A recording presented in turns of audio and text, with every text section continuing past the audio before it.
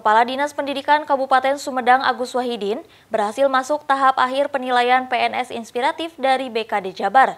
Tim asesor datang langsung untuk melakukan visitasi pada hari Senin 24 Oktober 2022 yang bertempat di SMPN 4 Sumedang. Pegawai negeri sipil di lingkungan pemerintah Provinsi Jawa Barat maupun pemerintah kabupaten kota didorong agar terus berkarya demi kemajuan daerah. Salah satunya melalui seleksi penghargaan pegawai negeri sipil berprestasi, inovatif, inspiratif, dan The Future Leader Provinsi Jawa Barat tahun 2022. Kepala Dinas Pendidikan Kabupaten Sumedang Agus Wahidin merupakan PNS satu-satunya dari eselon 2 di Kabupaten Sumedang yang berhasil masuk tahap akhir penilaian PNS inspiratif dari BKD Jabar. Tim asesor datang langsung untuk melakukan visitasi pada hari Senin 24 Oktober 2022 yang bertempat di SMP 4 Sumedang. Ini Pak untuk kegiatan hari ini. Alhamdulillah hari ini saya Agus Wahidin, Kepala Dinas Pendidikan Kabupaten Sumedang, eh, masuk finalis 10 besar untuk anugerah ASN berprestasi tingkat Jawa Barat kategori inspiratif.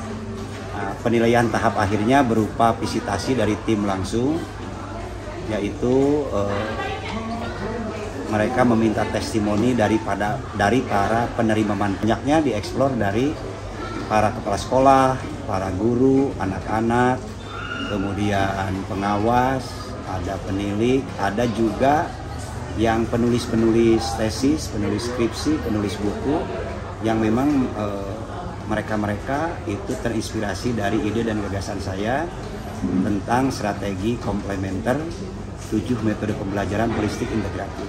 Nah. Dihadiri oleh Sekda Kabupaten Sumedang Herman Suryatman dan beberapa perwakilan dari tenaga pendidik, pengawas pendidikan, orang tua siswa, dan para siswa-siswi sekolah menengah pertama. Sekda Kabupaten Sumedang Herman Suryatman optimis Kadisdik Sumedang dapat menjadi juara PNS inspiratif yang merupakan sosok PNS panutan yang dapat mengilhami, menggerakkan, membangkitkan, dan mengobarkan semangat bagi diri dan lingkungannya untuk melakukan sesuatu yang positif dan berguna sesuai dengan inspirasi yang digagas mengenai tujuh strategi komplementer pembelajaran saat pandemi COVID-19. Sumedang ini adalah sukses Kabupaten Sumedang karena Pak Kadis tidak sendirian, timbul ya.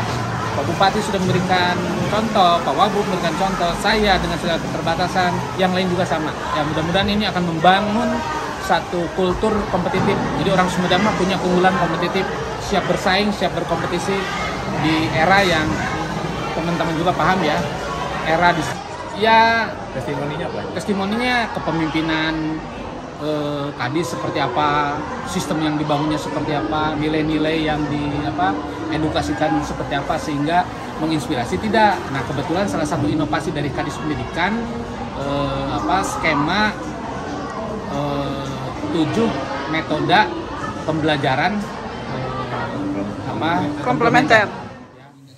Dari Sumedang, Jawa Barat, Vivit Nurbina melaporkan.